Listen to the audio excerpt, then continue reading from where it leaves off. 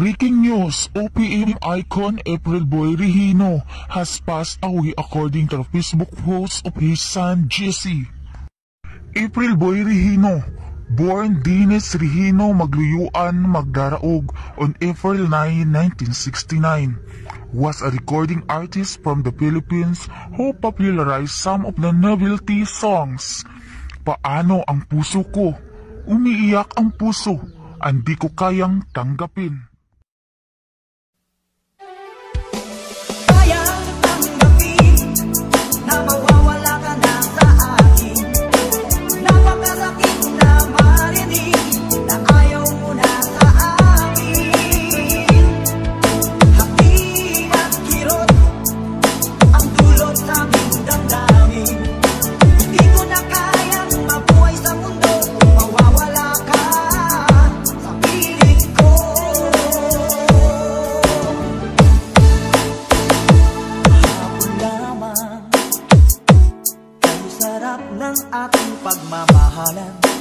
Sabi mo pa, ibig mo'y walang hanggan.